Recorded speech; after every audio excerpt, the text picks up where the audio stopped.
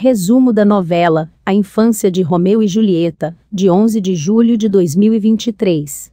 Lembrando que o resumo pode sofrer alterações de acordo com a edição feita pela emissora. A Infância de Romeu e Julieta, terça-feira, 11 de julho de 2023. Ellen e Ian se divertem com brincadeiras de imaginação, fato que incomoda Nath. O carrinho de pipoca de Bassânio é roubado enquanto ele dorme. Vera pergunta para Romeu se a garota que ele gosta é a Julieta. A bandeira com o brasão do pedalzeira desaparece. Theo esquece a chuteira na casa de Lívia e Karen pega para Alex danificá-la. Alex rasga a chuteira e joga nas mãos de Romeu.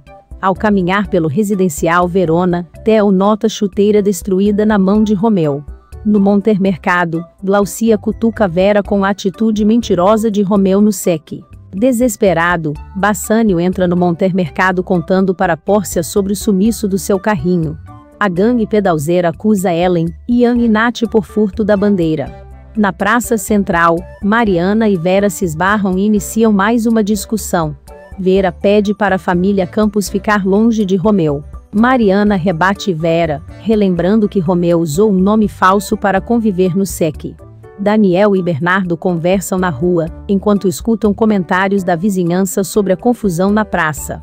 Bernardo e Daniel separam a briga das esposas. No armazém, Daniel e Amanda acalmam Marie, assim como Bernardo ajuda Vera no monter mercado, aconselhando que o melhor é ela refletir o motivo de Romeu mentir tanto.